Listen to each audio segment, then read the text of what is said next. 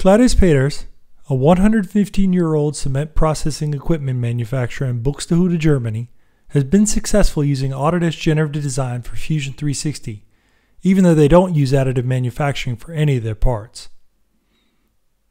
They used generative design to optimize a heavy cast part and saved over 65% of the material used while changing to a simpler welded design and increasing strength. This is the kind of thing Autodesk has come to expect from Thomas Nagel, operations director at Claudius Peters, who runs an agile team always looking for innovative ways to solve the challenges their company faces in an extremely price sensitive marketplace.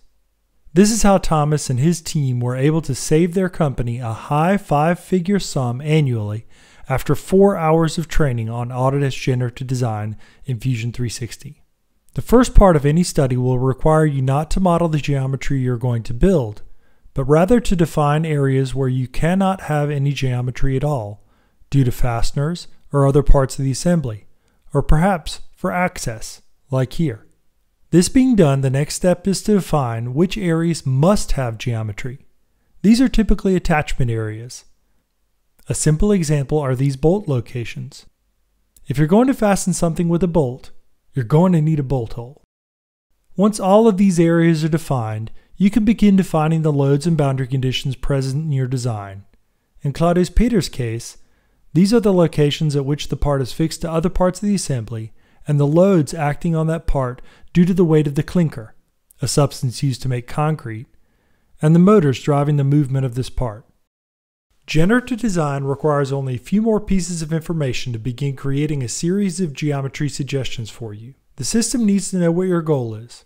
Here, we'd like to minimize the material used while maintaining a minimum level of strength.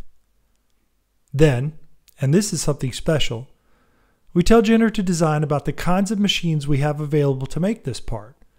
The software will provide results which we could actually manufacture. Since at the moment we can define either additive manufacturing or 3 and 5 axis machining as our manufacturing process, Claudius Peters uses these results as a kind of suggestion. As time goes on, Autodesk is working on expanding the types of processes we can simulate, but what we have now is already a great start. Finally, one can define up to 10 different materials for the software to try out. Claudius Peters, on the other hand, is certain they want to make this thing out of steel, so that's all they chose. After all this, Pascal, the main user of generative at Claudius Peters, started the generative process by sending the analysis to the cloud, where dozens of servers at Amazon Web Services begin calculating the large number of solutions needed to provide him with actionable results. The software gives many solutions, which you can sort using diverse criteria to determine which of the suggested geometries best suit your needs.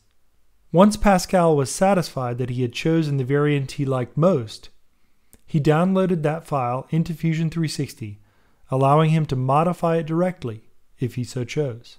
Since Claudius Peters does not use either additive manufacturing or CNC machining to manufacture these kind of parts, they use the delivered alien part, as they call it, as a kind of suggestion to develop their own geometry, which follows closely the contours of the generatively designed part, but which can be manufactured using traditional methods.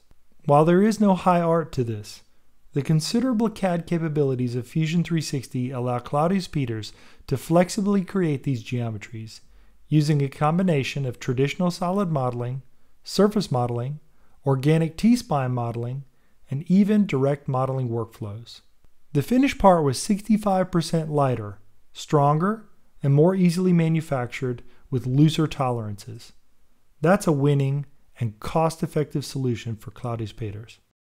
If you'd like to find out how Autodesk, Generative Design, or Fusion 360 can help your company innovate and remain competitive in your field, get in contact with us.